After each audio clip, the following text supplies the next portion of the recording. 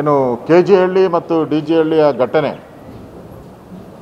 ಬೆಂಗಳೂರಿಗೆ ಒಂದು ಕಪ್ಪು ಚಿಕ್ಕೆಯಾಗಿ ಇತಿಹಾಸದ ಪುಟಗಳಲ್ಲಿ ಹೋಗಿದೆ. ಒಬ್ಬ ಶಾಸಕ, ಅಖಂಡ ಶ್ರೀನಿವಾಸ ಮೂರ್ತಿ, ಒಬ್ಬ ದಲಿತ ಶಾಸಕ. ಇವತ್ತು ನಾನು ಕೂಡ ಅವರ ಹೇಳಿಕೆಯನ್ನು ನೋಡಿದ್ದೀನಿ.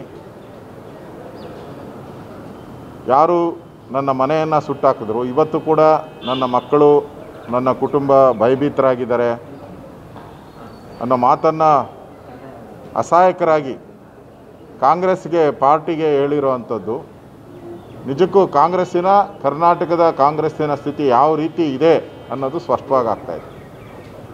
ಒಬ್ಬ ದಲಿತ ಶಾಸಕನಿಗೆ ಕಾನೂನು ಪ್ರಕಾರ ಕ್ರಮ ತೆಗೆದುಕೊಳ್ಳುವಂಥದ್ದಕ್ಕೆ ಅವಕಾಶ ಮಾಡಿಕೊಡದೆ ಬೇರೆ ಎಲ್ಲ ಕಡೆ ಪ್ರತಿಭಟನೆಗಳನ್ನು ಮಾಡಿದ್ದಾರೆ.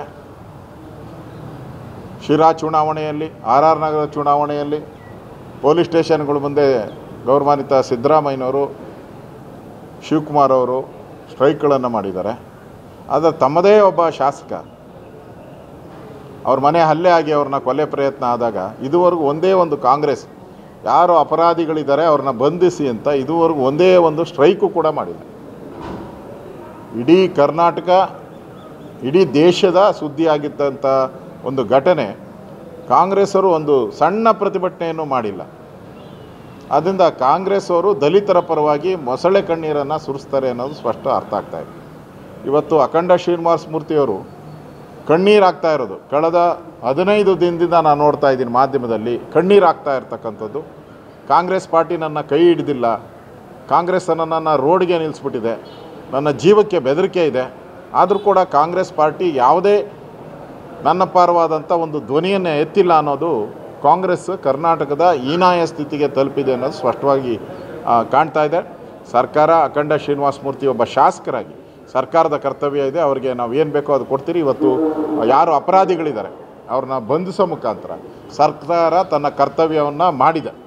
ನಮ್ಮ ಪೊಲೀಸರು ಒಳ್ಳೆ ಕೆಲಸ ಮಾಡಿದ್ದಾರೆ. ಸೊ ಕಾಂಗ್ರೆಸ್ಸು ಇದ್ರ ಬಗ್ಗೆ ಒಂದು ಸ್ಪಷ್ಟ ನಿಲುವನ್ನು ತೆಗೆದುಕೊಳ್ಬೇಕಾಗಿದೆ. ಅಖಂಡ ಶ್ರೀನಿವಾಸ ಮೂರ್ತಿಯವರ ಪರ ಅಥವಾ ಮಾಜಿ ಮೇಯರ್ ಅವರ ಪರವ, ಪರವಾಗಿದ್ದೀರಾ ಅನ್ನೋದು ಸ್ಪಷ್ಟವಾಗಿ ಹೇಳಬೇಕಾಗ್ತದೆ. ಇಲ್ಲ, ಗೊಂದಲದಲ್ಲಿ ಇರೋ ಥರ ಕಾಣ್ತದೆ ಕಾಂಗ್ರೆಸ್.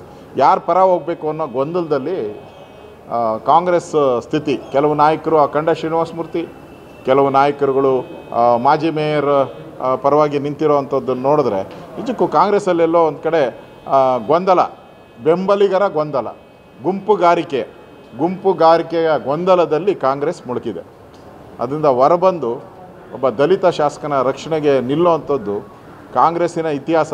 ನಾವು ದಲಿತರ ಪರ ಅಂತ ಹೇಳ್ತಾರಲ್ಲ, ಇದರಿಂದ ಸ್ಪಷ್ಟವಾಗಿ ಗೊತ್ತಾಗುತ್ತೆ ಕಾಂಗ್ರೆಸ್ ಅವ್ರು ಯಾರ ಪರ ಅಂತ ಹೇಳ್ಬಿಟ್ಟು.